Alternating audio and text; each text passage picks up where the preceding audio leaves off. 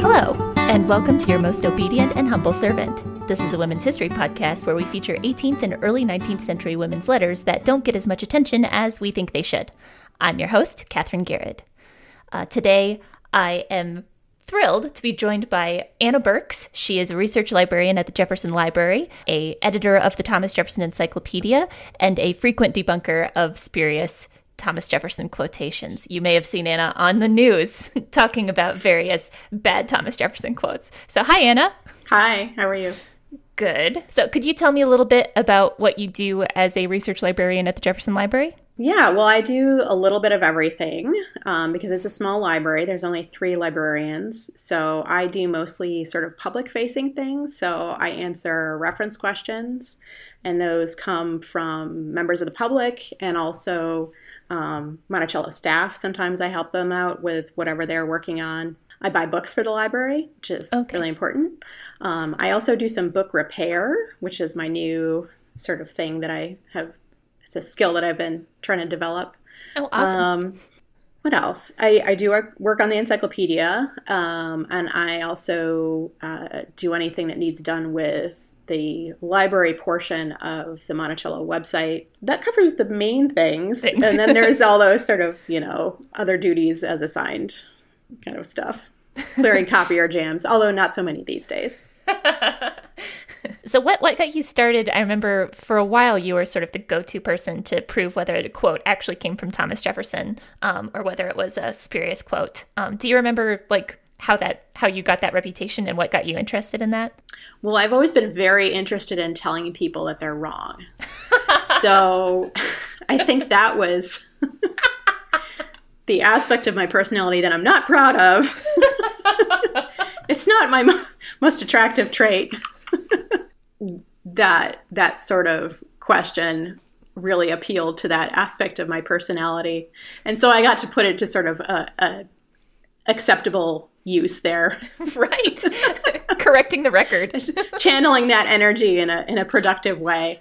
Um, it, it, we had so when I started, I had one predecessor um, as the the research librarian at the the library, and he had developed kind of a list of um, common spurious Jefferson quotes, and so I just kind of built on that and expanded it, and so from that list, I expanded it into like each quote got its own article and i really sort of got into researching okay so if jefferson didn't write this where did it come from right. and of course you can do some pretty impressive looking things with google books so so yeah i, I really did get interested in um, you know where did these quotes come from and how did they sort of get attached to jefferson and and sort of why too i think that that right. always kind of interested me like why why do people think that jefferson said this um, and what what about that sort of appeals to people's preconceptions about Jefferson, maybe, or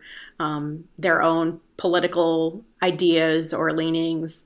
Um, right. There's there's a lot going on, and it's just it's um, it's a really interesting thing to me. Um, and so more broadly, I'm also just interested in ideas that people have about Jefferson that are not necessarily wrong per se, although those, those are also interesting, um, but also just um, trending into more kind of like folklore. Right. Um, and there are some stories about Jefferson that conform to like folklore. I'm not quite sure the exact terminology, but there are um, sort of folklore tale types that are all um, codified and numbered, and I can't remember off the top of my head who who did all that work, but you can actually um, point to a specific um, folklore tale type. Yeah. Um, so there are stories. There are a lot of stories about regular people uh, meeting Jefferson just as he's sort of out and about riding on his horse or whatever. Yeah. Um, and those are just like perfect examples of the folklore type of this motif of the king among the common people. Huh. Um, and it's I I sort of researched it a bit and and and found that there was this whole codification and that these tales about Jefferson are really the same stories that have been told about the same types of people for thousands of years, um, which is just really, really interesting. Yeah, that's super cool. Um, for the letter this week, um, I asked Anna because she works pretty closely with some of the folks from the Jefferson Retirement Series, and I know that she's been very close with uh, a lot of the family letters. Uh, if there was anything that she wanted to discuss, and so we've come up with an Ellen Wayles Randolph Coolidge letter to her mother, Martha Jefferson Randolph. Uh, I'll, I'll go ahead and set up the context a little bit for this one. So we've done an Ellen letter before, so you're familiar if you, my longtime listeners will be familiar with Ellen Wayles Randolph Coolidge uh, as one of Thomas Jefferson's granddaughters. She's sometimes described as Jefferson's favorite granddaughter. Uh, at the time she's writing this letter, she's 29 years old. Uh, she had married Joseph Coolidge, who was 27 years old at this time. I didn't know before doing the research for this that Ellen was actually older than her husband. Um, Escandalo.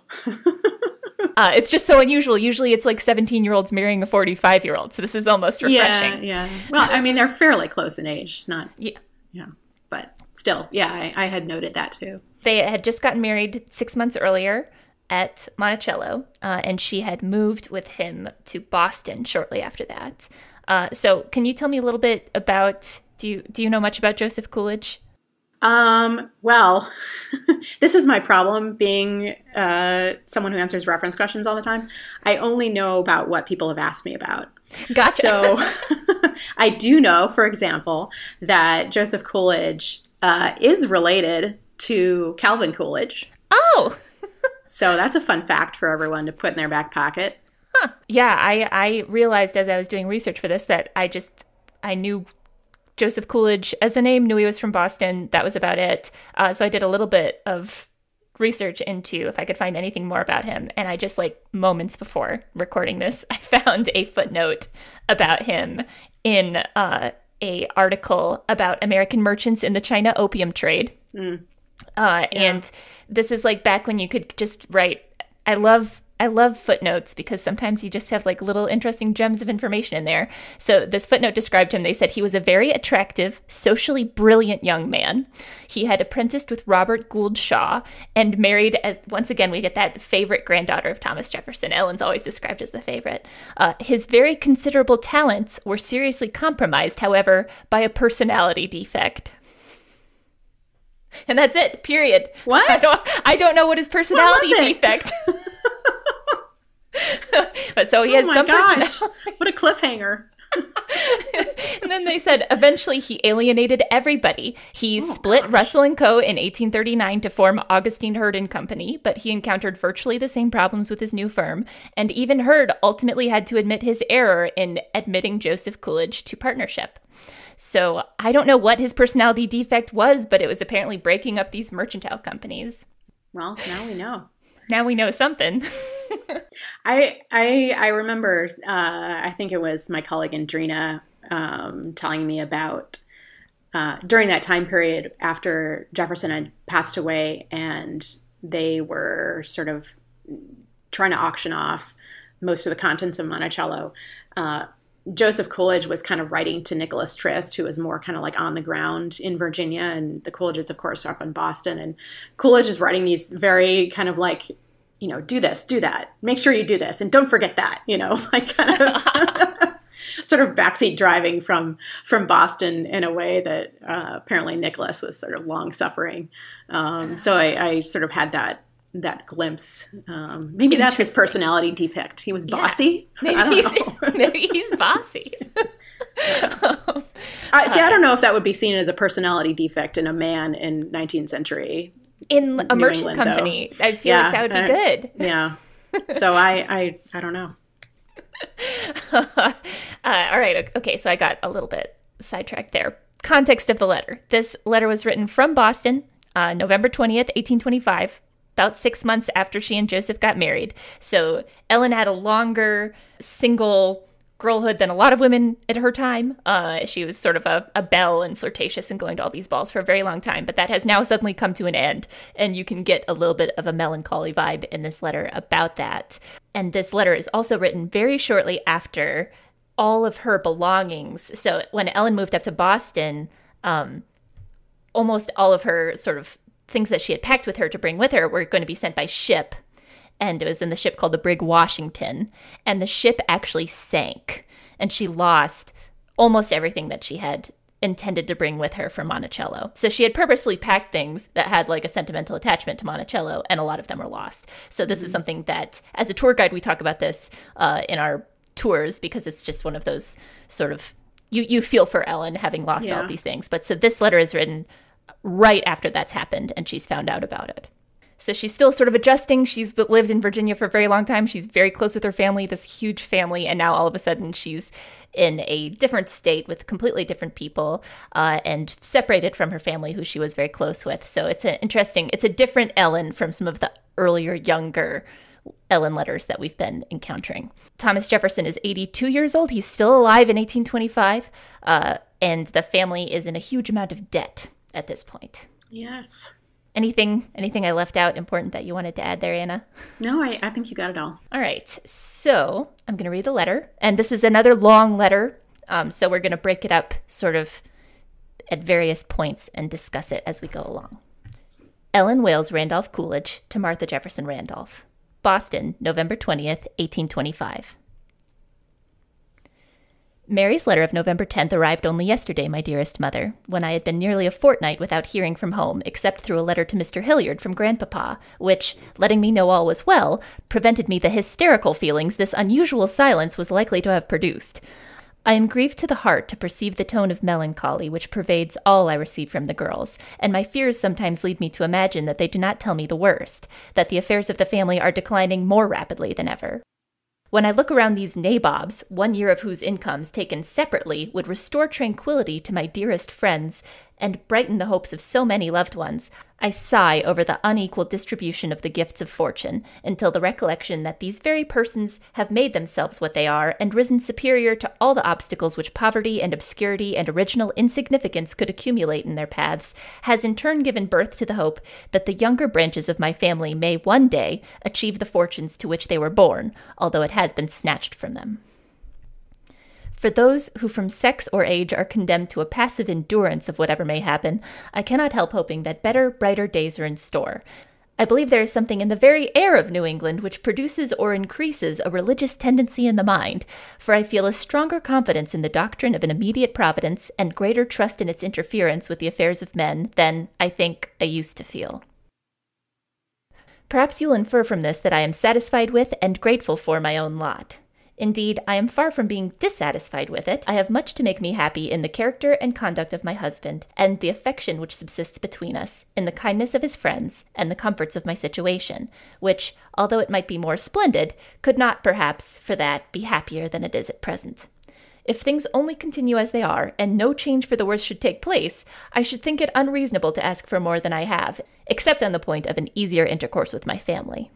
Still, such is the influence of my particular dispositions and habits that I cannot feel secure for myself even when I am hoping most for my friends, and that superstitious dread of a sort of planetary influence still infects the stream of my thoughts.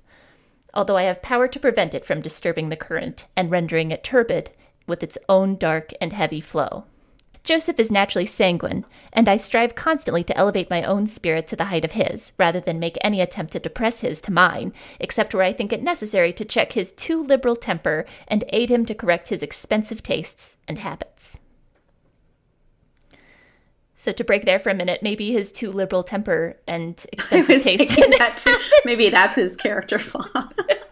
that's his personality defect. Who knows? I don't. Now know. I'm looking for it everywhere. So, um, what's your take of this first part of the letter? Yeah, I, I think there's probably a lot going on there. You know, she's trying to sort of put on a brave face for her mother, and she she does go on a bit, doesn't she? And I mean, yeah. I think that was all like one sentence, maybe. that whole first paragraph. Lots of ampersands. Um, I think you know you you you often ask what what is relatable about these letters, mm-hmm. um, and I think that everyone can relate to um, being far from home. And even though it's still the same country, um, even I, so, my sister lives in Massachusetts, yeah. um, near Boston, and even today, it just feels like a very different place than Virginia. Mm-hmm. I think that uh, her line about there's something in the very air of New England which produces or increases a religious tendency in the mind is an interesting sort of cultural yeah, note. I don't know if it's more the people than the air, possibly, but sure. Yeah. um, but yeah, and it's it's hard to know exactly what what she's referring to there. But Right. um, and and then the the planetary influences thing was was an interesting comment, and I did uh, do a little light googling on that point as well. And there there was you know hundreds of years before she was alive, it was fashionable, I think, in medicine to attribute conditions to the movement of the planets. But that sort of surprises me if that's what she's referring to, right. because that seems like, you know, by Jefferson's day, and, and TJ would have had the sort of latest medical theories at his disposal in his libraries. I think that would have been relatively out of fashion and certainly not not thought of as very scientific but maybe i'm wrong i don't know maybe maybe something about it appealed to her or maybe i'm totally wrong about what she's referring to right. I that I wasn't sure about that either. I wasn't sure if she was talking about like astrology. definitely seems like it it's um what we would now call pseudoscience um that's interesting that she threw that in there Yeah, and and so I, it made me wonder if she was actually just like because she says it's something about her own nature that even though things seem fine, she's just not happy. That it just it just sounds to me sort of like relatable. Sort of she's going through a depression. Like I don't obviously back then there wouldn't be any sort of clinical depression uh, understanding or treatment or anything like that, but she's definitely down. And she says it's something about her personality uh, makes her a bit more pessimistic about things which i haven't seen in her other letters where she's always being very cheery. So this is a, a different side of ellen than i've seen. Mm-hmm. and she does mention the money. I think her little bit about just seeing all these nabobs with all of their money that if they could just give one year of their income to her family it would help them out so much. It's so funny because she's she's so close to saying something like that there isn't you know a meritocracy right? She's like really close and then she just in a one long sentence totally backtracks and is like yeah oh but she they backs did away from it. Yeah. Yeah. They yeah. pulled themselves up by their bootstraps. Uh, eh, eh, you know, as if they every single one of them uh, had been born, you know, in a barnyard somewhere and didn't have any, which I'm sure is totally true in every single case. Absolutely. yeah, and uh, uh and her, her little bit, I do think, um, which she says those from sex or age are condemned to a passive endurance of whatever may happen, is interesting for her to say that because it because as a woman she can't pull herself up by her bootstraps, and somebody like Ellen wouldn't be somebody that would say that needs to change, but she is saying this it's kind of a tragic situation to find yourself in. So I think she's sort of re- reaching out to her mom a little bit about that.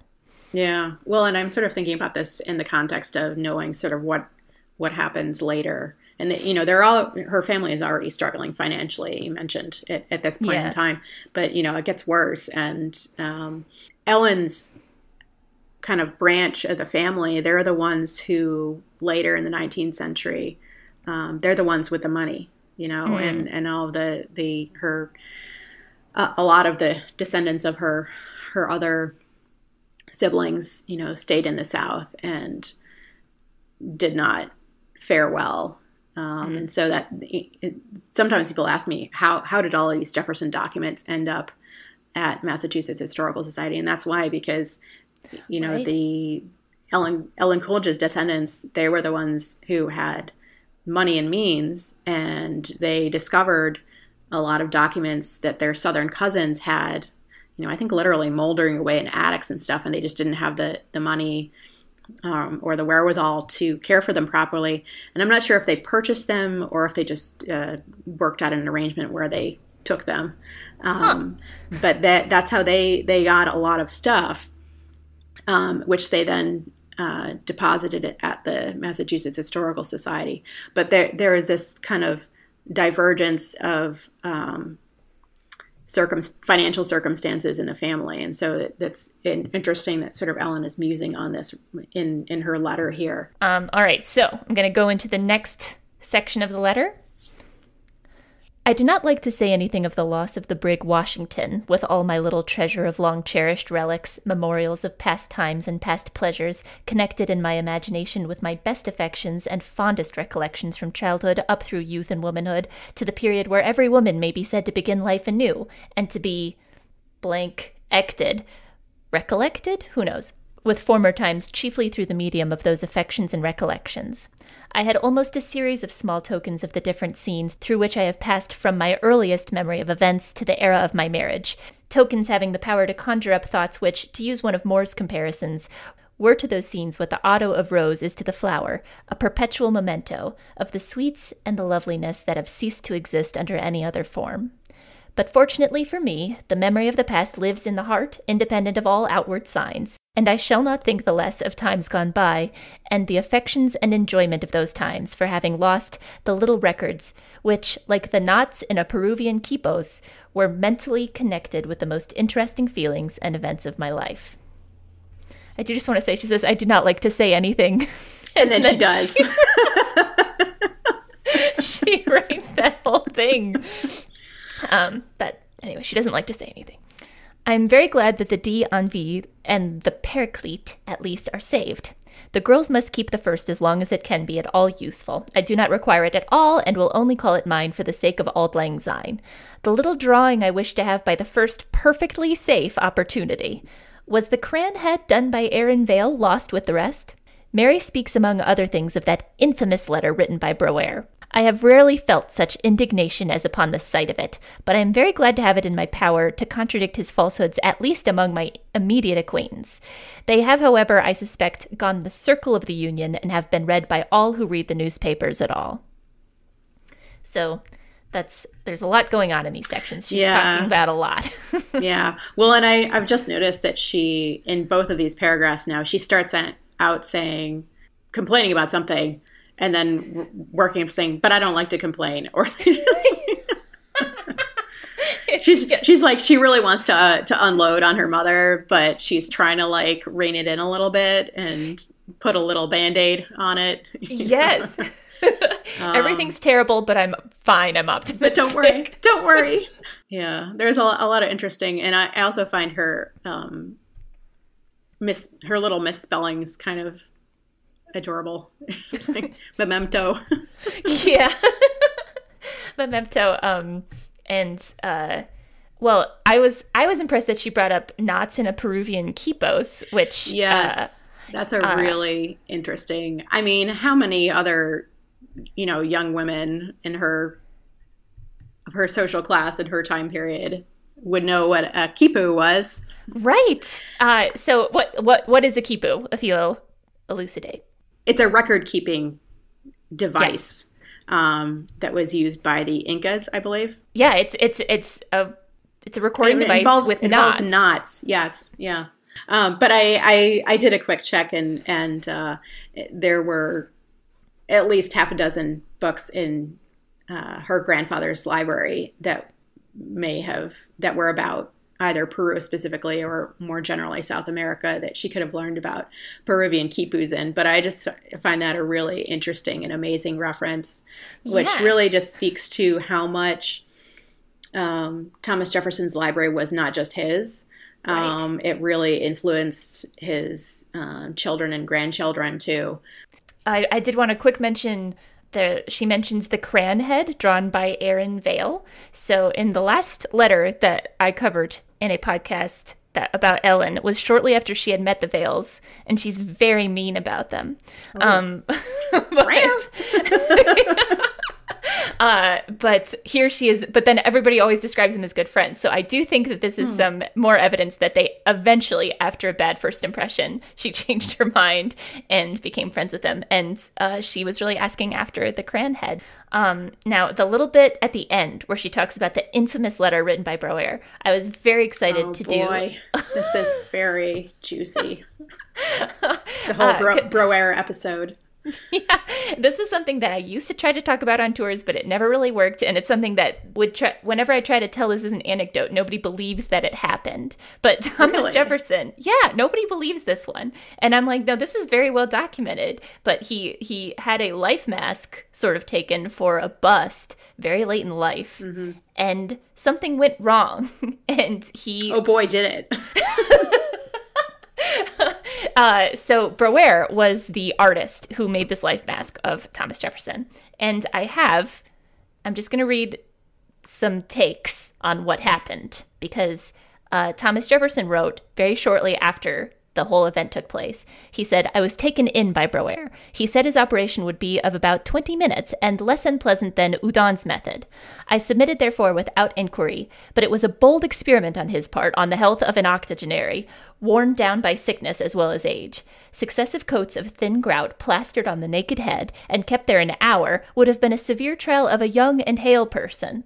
He suffered the plaster also to get so dry that separation became difficult and even dangerous. He was obliged to use freely the mallet and chisel to break it into pieces and get off a piece at the time.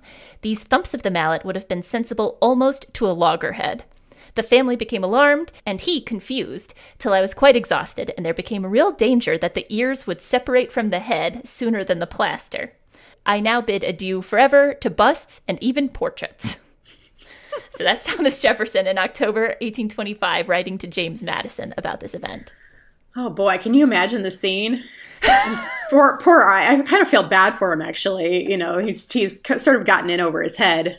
It sounds like Just, you're malleting at Thomas Jefferson's he's head. like getting more and more frantic. It's not working. It's not going well. And the the family is pounding on the door. Like, what are you doing to Grandpapa? God, the poor guy. Oh, Yes. and it sounds like TJ was not having a fun time either. Uh, No. it does sound quite painful. You know, and he's sort of down. He's making little jokes about it, but he's clearly mad. yeah, yeah. I love that line about the bold experiment on his part on the health of an octogenarian. bold experiment. That was funny. And so and so this happens.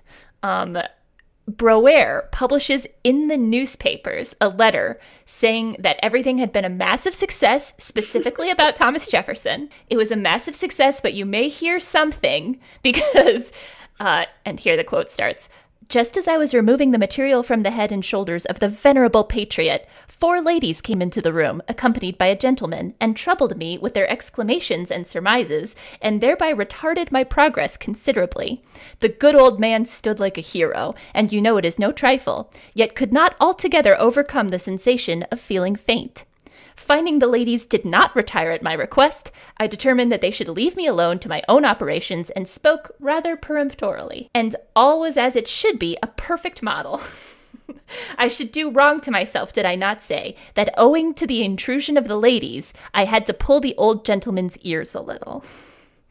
So Browere blames all of this on the granddaughters immediately. That uh, that's so interesting how he described this whole episode.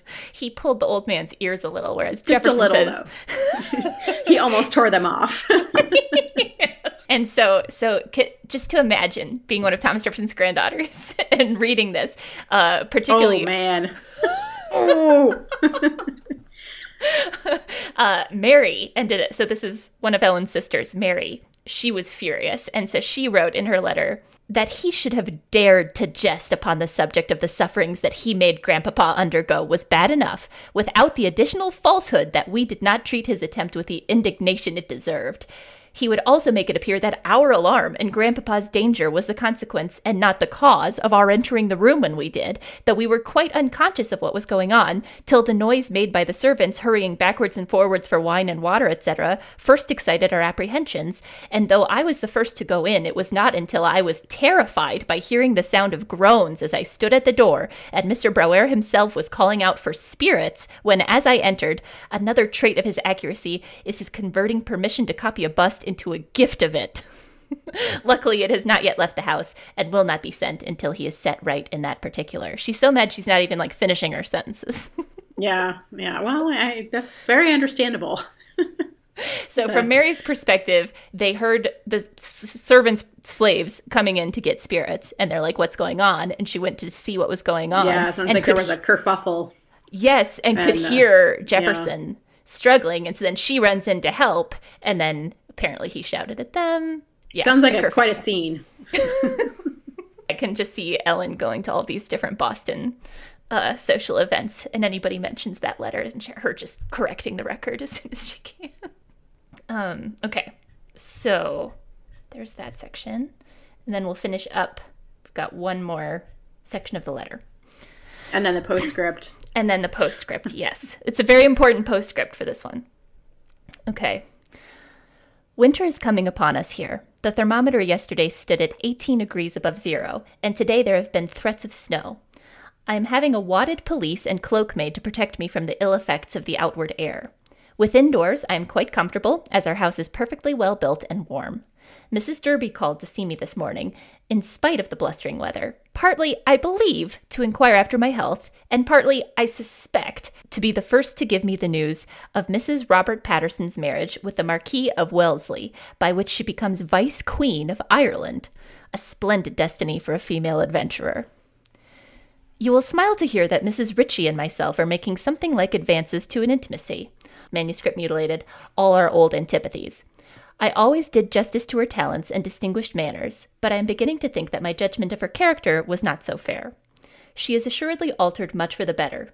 She is to a certain degree disappointed in the brilliant hopes of her youth, and is improved by the change in her situation from the glowing prospects of bellehood to the sober realities of married life with a husband not so wealthy as was at first believed, and constrained by the nature of his property, West India plantations, to be absent a great deal from home leaving her in a sort of widowhood, the more distressing as she is really attached to him, and makes a most excellent wife. She is an uncommonly fine woman, and there is something so distingué in the, her air and manners, such a stamp of superiority in all she does and says, that it is impossible not to admire her. I am writing by candlelight, and of course with great suffering to my eyes. Adieu, then, dearest mother, and believe me, with all the deep devoted feeling of which you know me capable, your own grateful, fondly attached daughter, Ellen. Then some postscripts. Love to all my dear ones, from Grandpapa to my darling Septimia and George. Dear children, how often and tenderly I think of them. Do my neighbors never inquire after me? I wish to tax each of the girls of writing the occasional receipt for me on a small slip of paper which can be put in a letter. Those I am most in need of are first, soup, two, vermicelli soup, three, coffee, four, muffins, five, a charlotte, six, gingerbread such as Edy makes, seven, rice cakes for breakfast, eight, drop biscuit, and several others which I cannot call to mind. I will send the music paper by the piano. There are two or three pieces which I am very anxious for, particularly Fischer's Minuet and Auld Lang Syne. I hope Virginia is well by this time. I conclude it is one of her old attacks she had had, and I hope the next post will bring me news of her recovery in her own hand.